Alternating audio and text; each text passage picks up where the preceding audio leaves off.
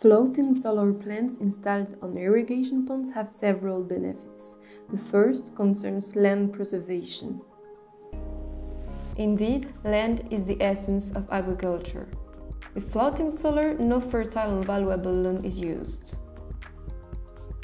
The second is water evaporation. By lying on the water, a floating system enables to limit evaporation. Irrigation ponds water can continue being used for its original purpose. This phenomenon is particularly useful for farmers who need water to grow their cultures or feed animals. Even more in countries where the climate speeds evaporation.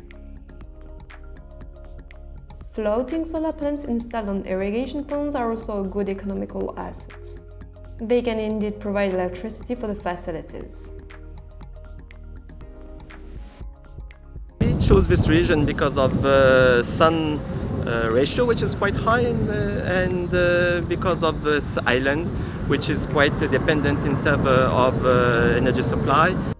Auto-consumption can be partial or full. Irrigation ponds present some challenges too.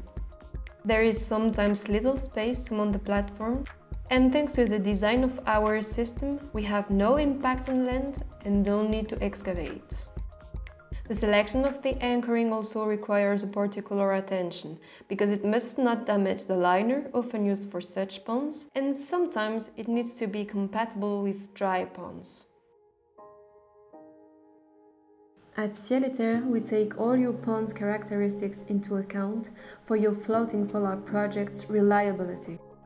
Interesting Ciel is relying on more than 12 years of floating solar experience.